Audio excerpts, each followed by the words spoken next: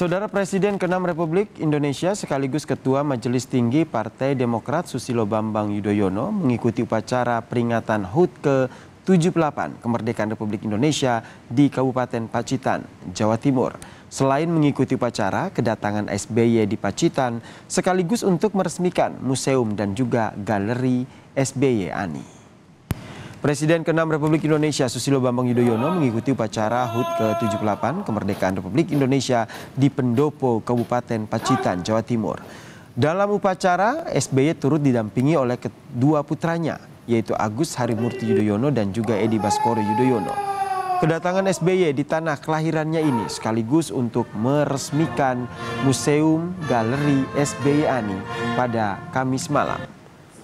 Hadirnya SBY dalam upacara HUT ke-78 Kemerdekaan Republik Indonesia di Pacitan ini pun diapresiasi oleh pemerintah Kabupaten Pacitan dan juga masyarakat setempat.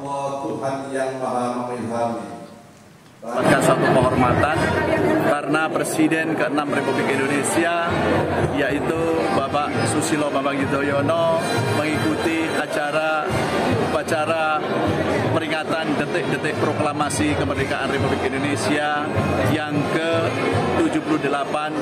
di Kabupaten Pacitan. Dan ini tentu membahagiakan sekali bagi kami pemerintah daerah Kabupaten Pacitan, bagi semua warga masyarakat Kabupaten Pacitan sangat membahagiakan sekali